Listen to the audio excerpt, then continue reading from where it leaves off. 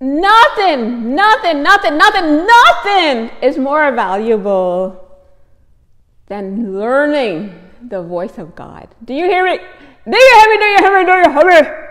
You must wake up every day, every day, every day, every day, every day.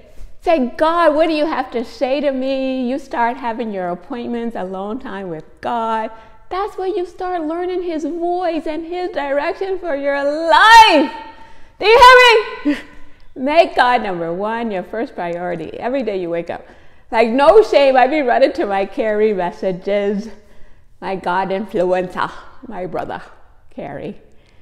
And I listen to him like a crazy lady. and some way, somehow, God just talks to me through him, gives me the wisdom that I need to tackle my life. I love verse from Joshua 1 9. Haven't I commanded you to be strong and very courageous? Yeah, yeah, yeah. That's your girl right now. I gotta be very strong and very courageous.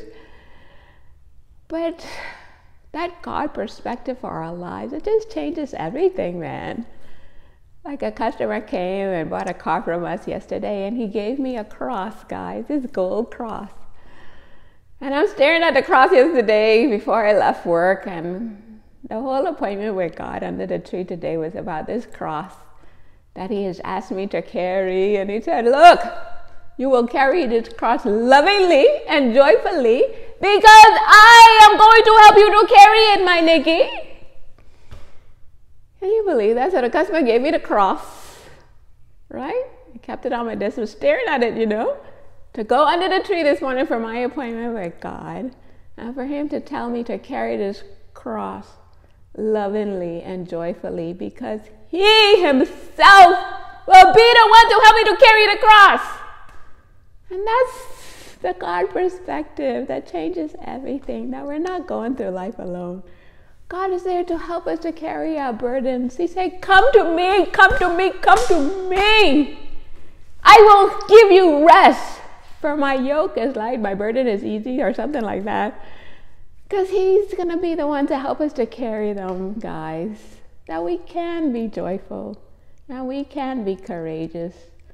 Knowing as we show up and giving our best in the physical realm, that God is at work in the spiritual realm on our behalf, tweaking situations, helping us, sending us support and angels to guide us, like Carrie. Carrie just shows up so faithfully to those messages.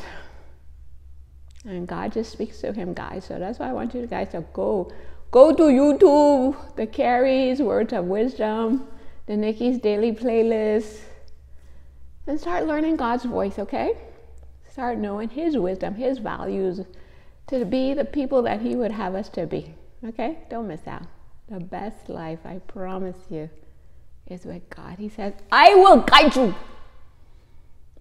I will guide you on the best pathway for your life. I will advise you.